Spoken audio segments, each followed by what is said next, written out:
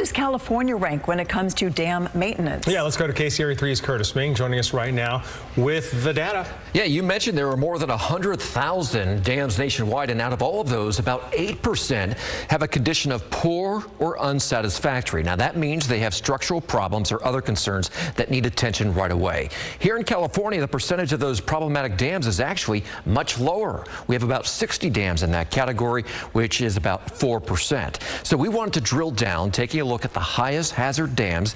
That means the dams where the most lives and properties could be impacted if breached. There are nine dams in our region that are high hazard and also are in poor condition. Now remember, high hazard does not mean there is a risk it could fail, but it means if there was a break, lives and property could be lost. Yeah, just one of those things you don't think about until it's way too late. All right, thanks, Kurtis. So we know that, you know, there are definitely inspections and things to be focusing on with that. What do we know about that? They don't really have enough inspectors, right? When it comes nationally, that has been a problem. But California requires most dams to be inspected every year or two.